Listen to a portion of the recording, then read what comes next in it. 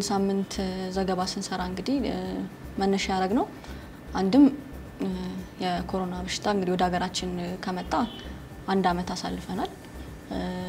ብዙ ነገሮችን አይተናል። በአንድ ዓመት ውስጥ የተለያዩ ለውጦችን አይተናል። እሱ ምን ይመስላል የሚለውን በተጨማሪም ደግሞ ባለፉት ሳምንታት ውስጥ በከፍተኛ ሁኔታ መጨመር እያሳየ መሆኑና ባለሙያዎችም third wave ነው የሚሉት ወይም ደግሞ በተለያዩ ሶስት ጊዜዎች እየጨመረ መጥቶ አሁን ደግሞ ትልቁን የመጨመር ሁኔታ ያሳየበት ጊዜ በመሆኑ በተደጋጋሚም በዜናዎቻችን ላይ ያሉትን እጥረቶች ያለውን ሁኔታ እየሰራን በመሆኑ አሁን ደግሞ ምን ይመስላል የሚለውን ለማየት ነበር ወደዚህ ይህን ዘገባ ለመስራት የተነሳ ነው። እንግዲህ ያው በሽታው እንደ በሽታ ሙሉ ህብረተሰቡን የሚያጠቃ ቢሆንም ግለሰቦች ደግሞ በከፍተኛ ሁኔታ እንደ ግለሰብ ስናያቸው ታሪካቸው በጣም በከፍተኛ ሁኔታ ህይወታቸውን የሚያዛባ ይሆናል። ካናገርናቸውና ታሪካቸውን ካካፈሉን ሰዎች መካከል አንዱ እንግዲህ ሙሉ ቤተሰቡ የተያዘበት አንድ ሰው ነበረ። በመጀመሪያ አባቱ ይያዛሉ። እንግዲህ አባቱ እድሜያቸው ገፋ ያለ ነው። በተጨማሪም ደግሞ የደም ብዛት፣ የስኳር በሽታ ያለባቸው ነበሩና መጀመሪያ ኮሮና መሆኑ እንኳን ሳያውቁ በፊት ነው ህመም የታየባቸው። እዛ ወደ ሆስፒታል ሄደው ሲመረመሩ ሳምባቸው ላይ ውሃ የመያዝ ነገር እንዳለ ግን ደግሞ ኮሮና መሆኑን አላወቁም። test እንዲደረግም አላረጉም ነበረ። ከዛም በኋላ ክትትል ወደሚያደርጉበት ቦታ ሄደው ስኳራቸውን በጣም አስቸጋሪ ሁኔታ ላይ ስለነበረ እንዲደረጋጉ ከተደረጉ በኋላ even ኦክሲጅን ላይ ከፍተኛ ኦክሲጅን እንዲወስዱ ተደርገው ለአራት ቀናት እንዲያገግሙ ከተደረጉ በኋላ ነው እሱ በሽታው ስሙ የተነገራቸው ማለት ነው። እንግዲህ ከዛ ሙሉ ቤተሰቡ በዛ ተያዘ። እናቱ ተያዙ፣ ሁለት እህቶቹ ተያዙ፣ የእህቶቹ ልጆች ተያዙ፣ ራሱም ተያዘ እና ቤተሰቡ በሙላ እርስ በርስ ራሳቸውን ሲያስታምሙ ነበር የቆዩት ማለት ነው። ከዛ ደግሞ ከጥቂት ወራት በኋላ እንግዲህ በድጋሚ ደግሞ አክስቱ ተይዘው እንግዲህ ካስታወሳችሁ ከተወሰነ ጊዜ በኋላ ወደ የግድ ሆስፒታል ገብታችሁ ራሳችሁን ታከሙ የሚባል ነገር የለም። ቤታችሁ ሆናችሁ ታከሙ የሚባል ነገር ስለነበረ ቤት ሆነው ሲከታተሉ ቆይተው ድንገት ድንገት ነው የታመሙት። ትንፋሽ አጠራቸው፣ መተንፈስ አቃታቸው። ሆስፒታል እስከሚወስዳቸው ድረስ ደግሞ ሊተርፉ አልቻሉም እና ህይወታቸውን በዛ ምክንያት አጡ። እንግዲህ ለቤተሰቡ በጣም አሳዛኝ አጋጣሚ ነው የሆነው በተደጋጋሚ ይህ ነገር ስላጋጠማቸው ማለት ነው። እንግዲህ ያው እኛም ጥንቃቄውን ብንቀንስ ግን እንደነዚህ አይነት አጋጣሚ የደረሰባቸው ሰዎች በጣም ይጠነቀቃሉ። አሁን እሱም እንደነገረን ከሆነ በጣም ጥንቃቄ እንደሚያደርግ ቤተሰቦቹ ደግሞ ከቤት መውጣት በጣም እስከ መቀነስ ድረስ ደርሰዋል። እንግዲህ በአመት ጊዜ ውስጥ ይህ አጋጣሚ በጣም ብዙ ሰዎች ያጋጠማቸው ነው። ከ159 ሺህ በላይ ሰዎች ተይዘዋል። በበሽታው ተይዘው ያገገሙ አሉ። ሶስት ሺህ በላይ ደግሞ አሁን በቅርብ በጣም እየጨመረ መጥቶ ሶስት ሺህ በላይ ሰዎች ህይወታቸውን እንዳጡ እናውቃለን እና ይሄኛው አጋጣሚ የብዙዎች አጋጣሚ ነው። እንግዲህ የምታስታውሱ ከሆነ ልክ በሽታው የገባ ሰሞን በጣም ደንግጠን ነበረ። ሁሉም ሰው ማለት ይቻላል በየቀኑ የሚወጣውን ሪፖርት ይከታተል ነበረ። ዛሬ ስንት ገባ እያለን በየቀኑ check እናደርጋለን። መግለጫም ሲሰጥ እንሰማለን። ጥንቃቄውም ትንሽ የመጀመሪያ ሰሞን ማስክ ማድረግ መታጠብም አስቸጋሪ ቢሆንም በጣም የተሻለ ሁኔታ እየተጠነቀቅን ነበረ። even እንዲያውም የመጀመሪያው ሞት ሲመዘገብ ልክ የዛሬ ዓመት አካባቢ ይመስለኛል የመጀመሪያው ሞት ሲመዘገብ በጣም ደንግጠን ነበረ። እንዳሁኑ ሶስት ሺህ ደርሶ እንኳን ይህን ያህል እየደነገጥን አልነበረም። ያን የመጀመሪያ ሞት ሁለት ሞት ሲባል በጣም እየደነገጥን የነበረበትን ጊዜ እናስታውሳለን። እንግዲህ በመንግስትም በኩል ደግሞ በአፋጣኝ ምላሽ ለመስጠት የአስቸኳይ ጊዜ አዋጅ በአፋጣኝ ታውጆ መሰብሰብን በብዙ በ group መሰብሰብ እንዲከለከል ስብሰባዎች እንዲከለከሉ የሚያደርግ አዋጅ በአፋጣኝ ወጥቶ ነበረ። በጤና ጥበቃ በኩል እና በህብረተሰብ ጤና ኢንስቲትዩት በኩል ደግሞ ተረባርበው የተለያዩ ትምህርት ቤቶችን፣ የመዝናኛ ቦታ የነበሩትን ዩኒቨርሲቲዎችን ወደ ጤና ተቋም ለመለወጥ ወይም ደግሞ ለይቶ ማቆያ ወደሚሏቸው ለመለወጥ ከፍተኛ ርብርብ አድርገው ነበረ። በጊዜው 148 በላይ የሚሆኑ center ኦች በሀገሪቷ በሙሉ ተደርገው ነበረ። በሺዎች በአስር ሺዎች የሚቆጠሩ እስከ I think እስከሚዘጋ ድረስ 30 ሺህ በላይ ሰዎች ለይቶ ማቆያ ውስጥ ገብተው የወጡበት ጊዜ ነበረ።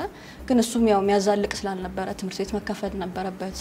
ቀስ በቀስ ደግሞ ኑሮ ወደ ነበረበት እየተመለሰ ስለሄደ እነሱ እንዲዘጉ ተደርገው ከዛ ወደ ሙሉ ለሙሉ የለይቶ ማቆሚያ የነበሩት ተዘግተው የቀሩት ደግሞ ወደ ሕክምና መስጫ ብቻ እንዲለወጡ ተደርገው ነበረ። ከነዚህ መካከል አንዱ የሚሊኒየም አዳራሽ ነው። እንግዲህ የሚሊኒየም አዳራሽ በፊት ያው የመዝናኛ ቦታ ነበረ። ሰፊ ነው። ለጤና ተቋምነት የተሰራ ባይሆንም ግን በጊዜው ከነበረው ችግር አንጻር ሰፊ እስከ አንድ ሺህ ሰው መቻል መያዝ የሚችል አቅም ያለው ቦታ በማድረግ በጊዜው ከለይቶ ማቆያነት ወደ ሙሉ ለሙሉ ወደ ሕክምና ተቋም ከመለወጡ በፊት እስከ ሰባት መቶ ሰዎችን በለይቶ ማቆያ ማለት ምልክትን ባይኖራቸው በሽታው ካለባቸው እዛው ቆይተው እስኪያገግሙ ድረስ የሚቆዩበት እስከ ሰባት መቶ ድረስ ሰው የሚይዝ መያዝ ችሎ ነበረ። ከዛ በኋላ ግን ወደ ሕክምና ተቋምነት ሲለወጥ መቶ አርባ አልጋዎች ያሉበት የቬንቲሌተር ወይም ይሄ mechanical የመተንፈሽ ለመተንፈስ የሚረዳው ማሽን ያለበት ከፍተኛ ኦክሲጅን የሚጠቀሙ እነሱንም ማከም የሚችል ወደ መቶ አርባ ታካሚዎችን የሚችል ተቋም አድርገው ወደዛ ለውጠውት ነበረ። እንግዲህ የተቋሙ ሜዲካል ዳይሬክተር እንደነገሩን ከሆነ በፊት በዛ ከተባለ ከሰባ እስከ ሰማንያ ድረስ ታካሚ ነበር በአንዴ የሚያስተናግዱት። ከዛ ግን ከጥር አጋማሽ ከጥር ጀምሮ በከፍተኛ ሁኔታ እየጨመረና በትንሹ በቀን እስከ ሀምሳ ታካሚዎች በሀምሳ በአንድ ቀን ውስጥ ማለት ነው ታካሚዎች እየመጡ በጣም የሚያስቸግር ሁኔታ ውስጥ እንደገቡ ነው የገለጸልን። ቁጥሩ ከፍተኛ እንዳልኩት ከፍተኛ ሁኔታ መጨመሩን ሲያሳይ እነሱም እንግዲህ capacity ውን ወይም የሚያስተናግድበትን አቅም ከፍ ማድረግ ነበረባቸው። በዛ ምክንያት ከ140 ወደ 220 ማሸጋገር ችለዋል። በፊት 19 አካባቢ የነበሩ የ intensive care unit ወይም በጣም በጣም ከፍተኛ ሁኔታ የታመሙና በራሳቸው መተንፈስ የማይችሉ mechanical ventilator የሚጠቀሙ ቁጥር 19 ነበረ በፊት። አሁን ወደ 32 አሳድገው እንደዛም ሆኖ ግን ሙሉ ሆኖ አሁን ሕክምና በመስጠት ላይ ይገኛሉ። አቴኒ እንግዲህ ወይ ህይወቱን የሚያጣ ወይ ደግሞ የሚሻለው ሰው ከሌለ በስተቀር ምንም አይነት ቦታ እንደሌለና የሚመጡትን ታካሚዎች አዲስ መቀበል እንዳልተቻለ ነው የሚገልጸው። እንግዲህ ስለዚህ ከጥር ጀምሮ እነሱ እንደሚሉት ከሆነ ቢያንስ በሶስት እጥፍ አሁን እስካለንበት ወር ድረስ ቢያንስ በሶስት እጥፍ የታካሚ ቁጥር እየጨመረ መሆኑን ተናግረዋል። እንግዲህ ሀዊ እንዳለችው የታማሚዎች ቁጥር መጨመሩን ተከትሎ እንዲሁም ያሉ የታማሚ መከታተያ ቦታዎች መሙላትን ተከትሎ ያለፈው ወር ወይም ደግሞ ማርች በጣም ብዙ ችግር የታየበት ወይም ደግሞ ኮቪድ ከመጣ ጀምሮ በጣም ከባዱ ወር ነው ተብሎ ይታሰባልና March 13 ላይ ከፍተኛ የሞት ቁጥር የታየበት ጊዜ ነበረ። March 13 ላይ 30 ሰዎች በአንድ ቀን ውስጥ መሞታቸው ተመዝግቦ ነበር። ይህም ከፍተኛ ወይም አሰቃቂ ወር ያደርገዋል ማለት ነው። በተጨማሪም አዳዲስ case ዞች ከ February ጋር ሲነጻጸር የ150 percent ልዩነት ነበራቸው። በጣም ጨምሯል ማለት ነው። ሌላው ይህ አልበቃ ብሎ ደግሞ ጽኑ ህሙማን በጣም እየበዙ በመጡበት ሰዓት አዊም እንደገለጸችው ጽኑ ህሙማንን የመከታተያ ቦታዎች እንኳን በሌለበት ሰዓት ጮራ የኦክሲጅን ሲሊንደሮች ማምረቻ ተቋም የምርት መቋረጥ ደርሶበት ነበረ። በዚህም ወር ወይም ደግሞ ባለፉት ሳምንታት ወይም ወራት ተከታትሎ የኦክሲጅንና የመድኃኒቶች አቅርቦት እጥረት ተከስቷል። ቅድም ለማስረዳት እንደተሞከረው ሚሊኒየም አዳራሽ የታካሚዎች ቁጥርንም ለመጨመር ሞክሮ ነበረ። ባለፈው ወር ላይ ግን የኦክሲጅን እጥረት አጋጥሞታል። ከባለፈው ወር ወይም ደግሞ ወራት ጀምሮ ማለት ነው። ሚሊኒየም አዳራሽ 250 የኦክሲጅን ሲሊንደሮችን በቀን ይጠቀም ነበረ ወይም ደግሞ የ250 ኦክሲጅን ሲሊንደሮች በቀን ያስፈልጉት ነበረ። አሁን ግን እጥፍ ነው የሚያስፈልገው። በአንድ ቀን ውስጥ ከ250 በላይ ወይም የ250 እጥፍ ያስፈልገዋል ማለት ነው። በፊት ለሚሊኒየም አዳራሽ ህሙማን መከታተያ የኦክሲጅን አቅርቦት የሚመጣ አዲስ አበባ ከሚገኙ የኦክሲጅን አቅራቢዎች ነበረ። አሁን ግን የታማሚዎች ቁጥር መጨመሩን ተከትሎ ወይም ከሚያስፈልገው የኦክሲጅን አቅም በጣም ከመብዛቱ የተነሳ አሁን አቅርቦቱን ከተለያዩ ቦታዎች ነው እያገኘ ያለው።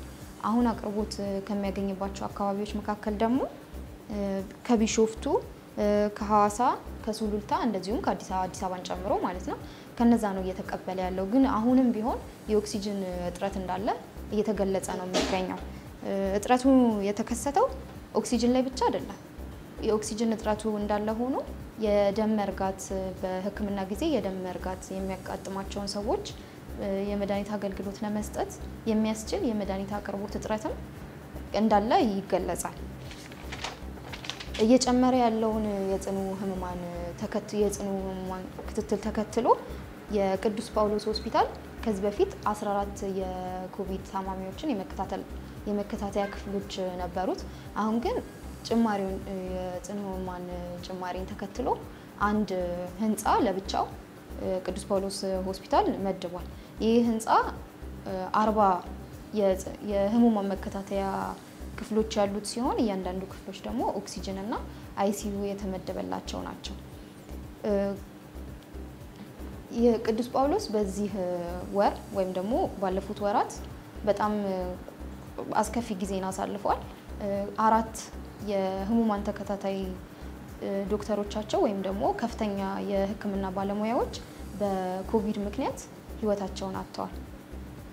ሌላው በተለምዶ ወይም ደግሞ normally ሁለት ሺህ ታካሚዎችን በቀን ያስተናግድ ነበረ ቅዱስ ጳውሎስ ሆስፒታል። June አካባቢ ላይ ግን የኮቪድ ታማሚዎችን በተጨማሪ መከታተል ጀምሮ ነበር። በቀንም ከ15 እስከ 20 የጽኑ ህሙማን ታካሚዎች request ይደርሰው ነበር። ማለትም ከ15 እስከ 20 የጽኑ ህሙማን ታካሚዎች የኮቪድ ታካሚዎችን ያስተናግድ ነበር። አሁን ግን center ኡ በመሙላቱ የተነሳ የታካሚዎች የመቀበል አቅሙ ስለቀነሰ ወይም ስለሞላ ታካሚዎችን መቀበል አቁሟል center ኡ ማለት ነው። የጤና ባለሙያዎች እንደሚሉት ከሆነ ደግሞ አሁን በጣም አሰቃቂ ጊዜ ላይ መድረሳችንን ነው። እንዳለ ሆስፒታሎች ሞልተዋል፣ የመቀበል አቅም የላቸውም። በመሆኑም አሰቃቂ ጊዜ ላይ ደርሰናል ይላሉ። ሌላው አሁን በጣም የጽኑ ህሙማን ታካሚዎች በመብዛታቸውም እንደዚሁም አዳዲስ የኮቪድ ህሙማን case ዞች እየጨመሩ በመምጣታቸው እየጨመሩ በመምጣታቸው ምክንያት ኮቪድ መንግስት የኮቪድ-19 treatment የሚሰጡ ሆስፒታሎች፣ የግል ተቋማት ይህን treatment እንዲሰጡ ፈቅዷል። ይህንንም የፈቀደ ዘግይቶም ቢሆን ይህን የፈቀደበት ምክንያት የታማሚዎች ቁጥር በመብዛቱና የመንግስት የታማሚዎች ክትትል center ኦች በመሙላታቸው ምክንያት ነው። አሁንም ከሰባት የማያንሱ የግል ተቋማት ክትትል እየሰጡ ይገኛሉ። ከነሱ ውስጥም እንደ ምሳሌ ሀሌሉያ፣ የረር፣ ቤተዛታ እንዲሁም አሜሪካ ሜዲካል ሴንተር ክትትል እየሰጡ ይገኛሉ። ክትትል የሚሰጡት ከክትትል ከሚሰጡት የግል ተቋማት ያው በውድ ዋጋም ቢሆን ክትትል ከሚሰጡት የግል ተቋማት አሜሪካ ሜዲካል ሴንተር December 2020 ላይ ነበረ የኮቪድ በሽተኞችን መቀበል የጀመረው። ይህ ሆስፒታል ከአስር የኮቪድ normal ህሙማኖች ጋር እንደዚሁም ከሁለት ጽኑ ታማሚዎች ጋር ነበረ ክትትል ማድረግ የጀመረው። የኮቪድ-19 treatment unit ዳይሬክተሩ እንደሚሉት ከሆነ እንደውም በእነሱ ስር የሚመራ 15 የጤና የኮቪድ ተከታታይ የጤና ባለሙያዎች አሏቸው። ነገር ግን ባለሙያዎቹ እንዳሉ ቢሆንም ሌሎቹ ሆስፒታሎችም እያዩት ያለውን የእቃ አቅርቦት እጥረት እዛም እያጋጠመ ይገኛል። በመሆኑ ባለሙያዎቹ እንደሚሉ ከሆነ ሙሉ ዓለም ካልተከተበ በስተቀር ይህ በሽታ የሚጠፋ አይነት አይደለም ብለው የመደምደም ደረጃ ላይ ደርሰዋል ማለት ነው። ነጃት እንዳለችው የዓለማችን ሕዝብ እንዳለ የኮቪድን ክትባት ካልተከተበ የኮቪድ በሽተኞች መምጣታቸው የማይቀር ነው ተብሏል እና ይህ በሽታ ከመጣ አንድ ዓመት ያለፈው ሲሆን ጥሩ ዜና የሰማ ነው ምንድን ነው ክትባቶች መምጣታቸውን ነው እየመጡ መሆኑን ነው ከተለያዩ ሀገር ክትባቶች እየተመረቱ መሆኑን ነው። በዓለማችን 600 ሚሊዮን በላይ የሆኑ ሰዎች ይህን ክትባት የተከተቡ ሲሆን በሀገራችንም በ COVAX initiative በ WHO በሚመራ group ስር ለኢትዮጵያ ሁለት ነጥብ ሁለት ሚሊዮን የሆነ dose የሆነ የኮቪድ ክትባት ገብቷል። በተመሳሳይም በቅርብ ከቻይና 300 ሺህ dose የክትባት ድጋፍ ያገኘች ሲሆን ኢትዮጵያ መጋቢት መጀመሪያ ላይ የጤና ሚኒስቴር እንዳስታወቀው የጤና ባለሙያዎችን መከተብ ተጀምሮ ነበር። ይህም እንደተጠናቀቀ ሚኒስተሩ አሳውቋል።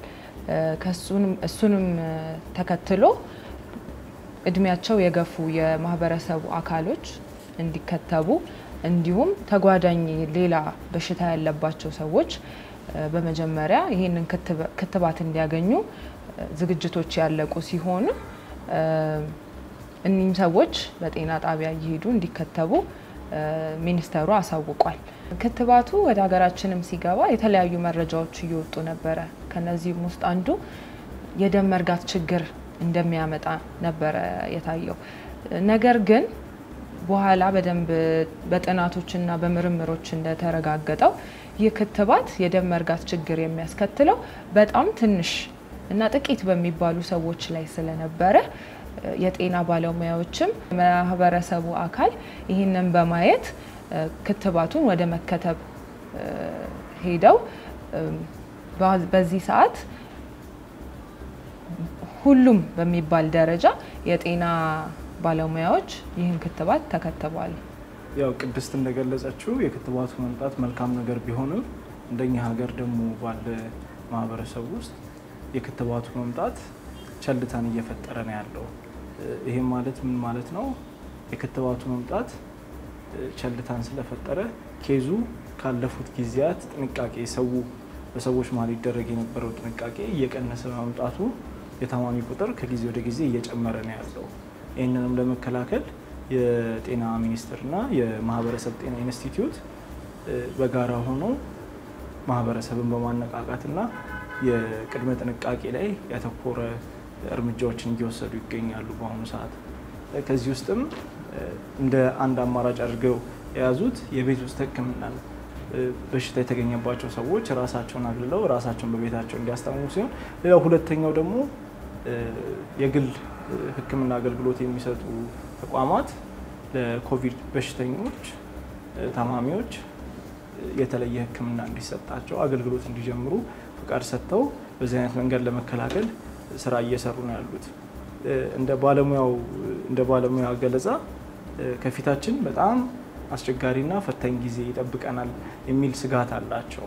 ስለዚህም ብቸኛ ያለው አማራጭ ብለው ያስቀመጡት መከላከያ መንገዶችን ማስክ ማድረግን፣ ሳኒታይዘር መጠቀምን ከንጽህና ጋር በተያያዘ ያሉትን መከላከያ መንገዶችን መጠቀም ብቻ ብቸኛው አማራጫችን ነው ብለው ገልጸዋል።